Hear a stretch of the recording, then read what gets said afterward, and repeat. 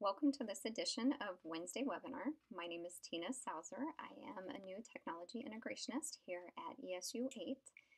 Today's topic is going to be about the ADVISER dashboard and some of the information and data that it can provide. So what is ADVISER? It is a web-based view of school, staff, and student data all organized into a quick reference tool that will help administrators and staff organize and disseminate data in order to individually serve the needs of their students.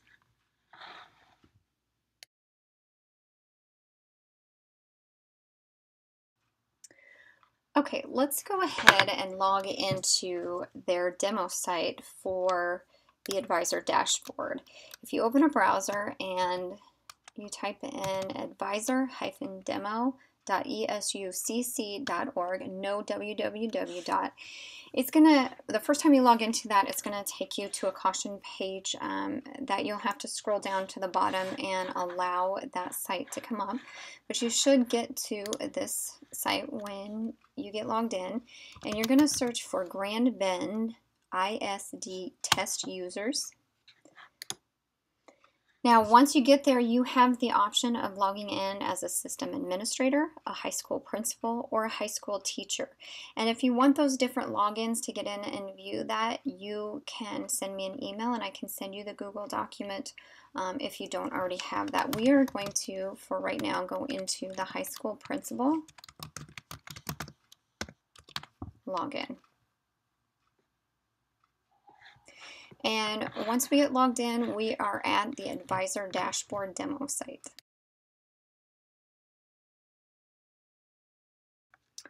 Okay, let's begin by looking at um, a student here. So I'm going to type in the name of a student in the search bar. And then once the students come up, I can just click on their name to get the overall information. So we're going to look at the academic dashboard here in a minute, but if we click over on the student information tab, what we see here is we get the contact information for the student, the demographic information, including um, parent or guardian and their contact information, as well as date of birth, um, if you scroll down, you also see information on the program status. So if the student is in HAL or ELL, SPED, any of those um, programs. Um, scrolling down, there's also other student information if they're um, a ward of the state, um, an immigrant, any of those that are checked will give you that um, overview of the student. There is also the opportunity to have a list of the special education services that that student has received. Um, okay, so let's go over to the academic dashboard. When we click on the tab at the top, as you see, there's other tabs that come up underneath that with the academic dashboard. The overview of the academic dashboard is going to give you an overview of different data that is collected on that student. So if you if we scroll down, it's going to show you an overview of the attendance and discipline. Um, it's going to give you overview of state assessments, other assessments, all of this um, overview information of the student throughout the years. And if as you can see, there's a metric status over here that's color coded. The red generally means that it's below goal. Um, green means that it's met. And all of those are down here uh, to help you understand that. But if I hover over those, you can see that it's going to break down the information even a little more for you and give you percentage, percentages of that for per date.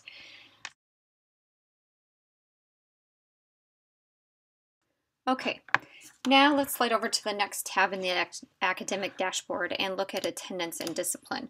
So if I click on that tab, um, and you have to know that you have to be, so if you're on the teacher level and your administrator or, or, people that set this up decided not to give um, you access to the discipline tab, all you would see here is attendance. But right now I'm logged in as an administrator. Um, they may give you the opportunity to see the discipline as well, but just know that that, that is a choice by the district. Um, so if I scroll down in this screen and I look at this, uh, we've got everywhere from daily attendance rate, and again, um, color coding to tell us what it tells us what it was within the last four weeks, last eight weeks, year to date, and prior year. There's no data there because there was no information added to the prior year.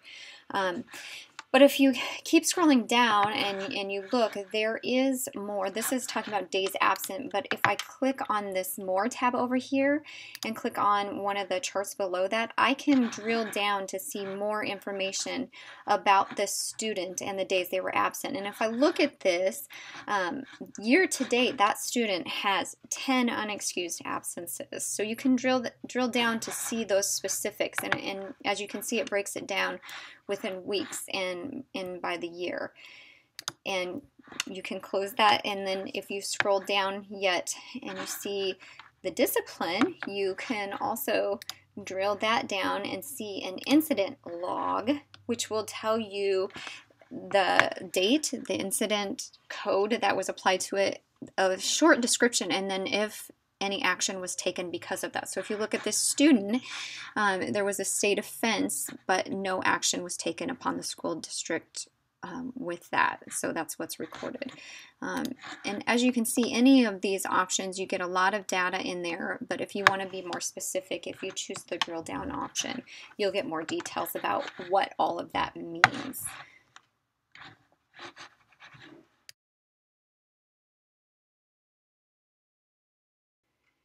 Let's take a look at the state assessments.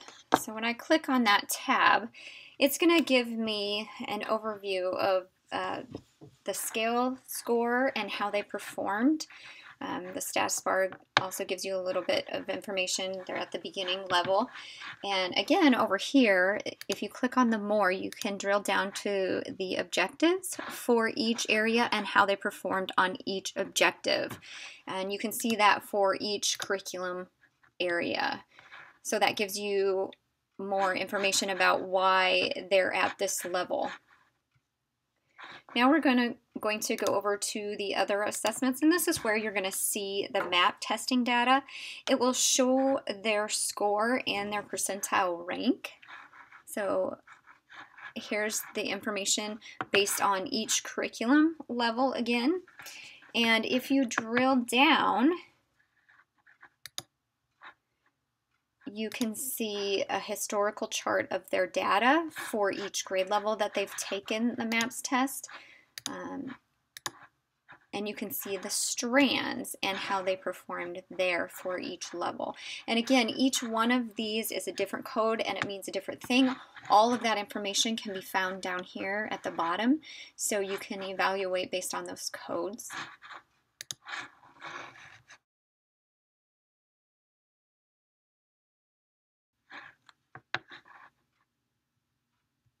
Let's take a look at grades and credit now. This is where you are going to find information on the student's current grades.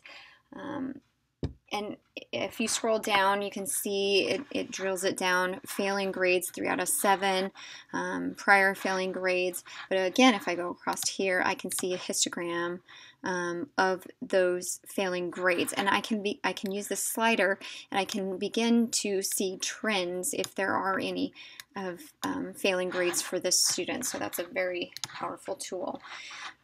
If I come down here to the credit accumulation um, and I click on more,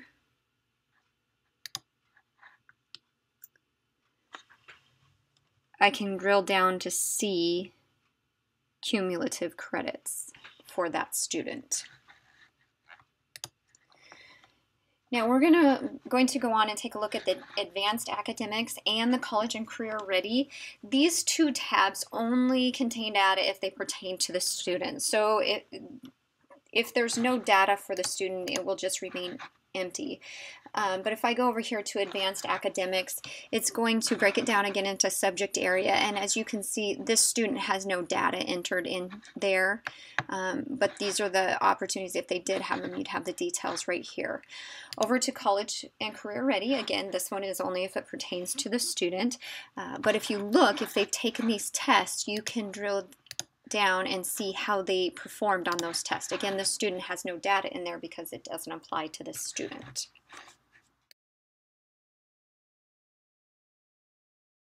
Let's go over and take a look at the early warning system. This system will give teachers and administrators the ability to um, and awareness to intervene with students who are having issues in school or who, or who might be at risk for dropping out. Um, the early warning system is based on attendance, behavior, and grades. And each of those um, is set up under five matrix uh, daily attendance, school code of conduct, state reporting offenses, and then failing math or failing English grades. If you look, um, again, you have this color code, and this um, color right here is a, is a caution warning. Um, and you can drill down those again to see more information if it's available um, to really dive into why there is the warning on that student. Now, the intervention catalog works really well with the early warning system. This catalog gives you the opportunity to assign interventions to students or to see what intervention a student has in place.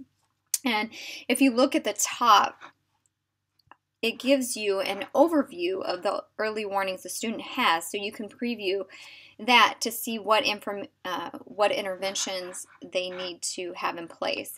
Um, and again you can choose any of these to assign to a student. Now back up at the top the course history. This will allow you to have an overview of all the courses that a student has taken in the past. There's no data on this student right now, but that's the information that that would provide.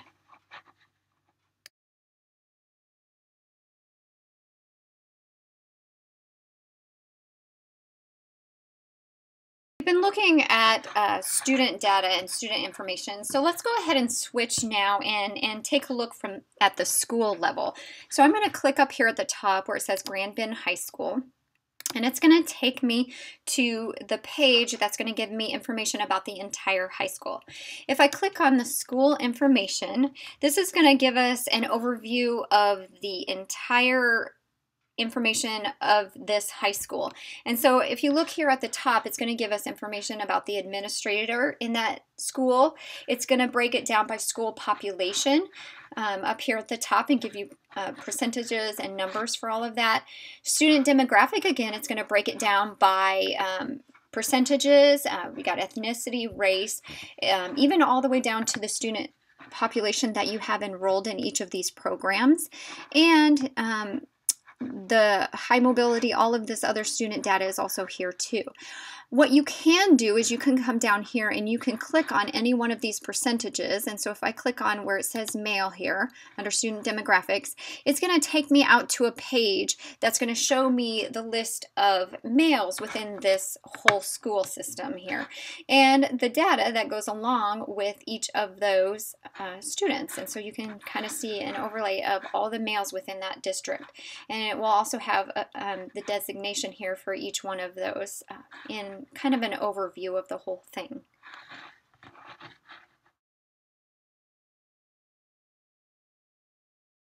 Now let's go up and take a look at the staff list and the teachers list. So if I click on this tab right here, this is going to give me um, the staff name their email address, and their roles within the district. So you're going to get the entire staff at Grand Bend High School listed in this view right here. If I click on the teacher list, it gives me the same information, only this list is limited to only teachers. So you don't have the role listed over here. Um, but it gives you their name and their email address. Now, if I if I click on a teacher's name, it's going to give me a list of that teacher's students that are within their classes. And so you get that entire list right there by clicking on, on the name. All right, now let's go and take a look at the students by grade, students by demographic, and then student list. So if I click back here on the high school page, and I go back to school information. Um, the students by grade, I can come up here and I can sort them um, by specific grade if I choose. And you can get an overview of the whole class. You can see their early warning indicators by class. And if I scroll over, it's also going to show the attendance and discipline as well as the grades. And you can look at that specifically by each grade level. Um, so that's 12th grade. I could switch to 11th grade and see the same details for that grade level. Now, students by demographic, if I click on that one, this is going to allow me to sort the students again by demographic data. So if you remember before when we were talking about the school information we went and clicked, we sorted by all the males within that high school. So if I click on student by demographic and I select male, it's going to pull up all the males within that school. And again, you get your um, early warning indicators, attendance and discipline, and grades. If I go to my students by list, these are any, and, and there's no data under this um, person, but th these are the students that are assigned to you. So if you have specific um, groups that you're assigned to, your students would show up there.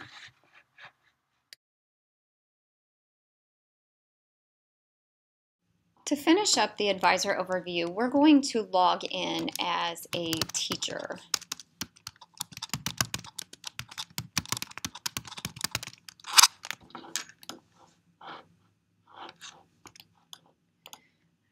try that again.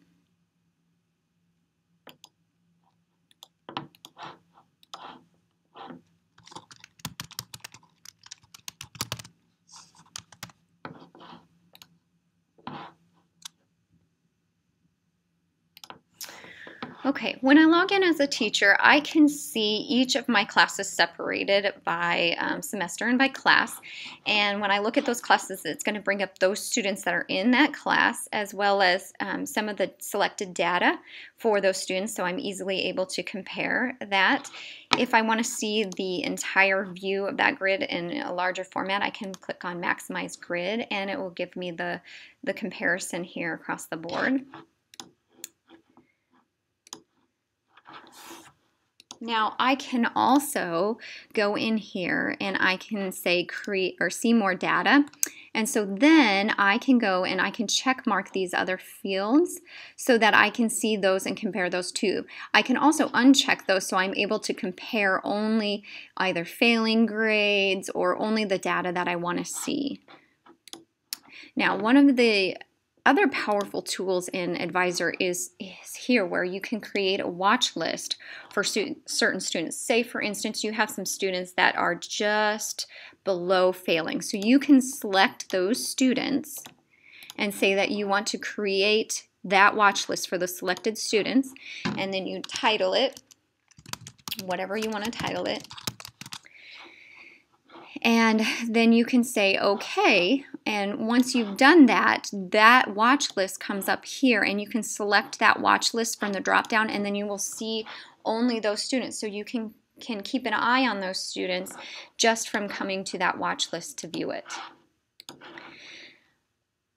All right, and that's pretty much the, uh, the teacher view. You can also go here and, and um, select these different fields to watch or to look over those for each student.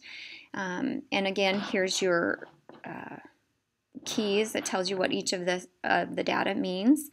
Um, so basically you have an overview of your entire classes for each individual student and you're easily able to compare those students across the board. All right, thank you for listening to this version of Wednesday webinar and I look forward to the next one.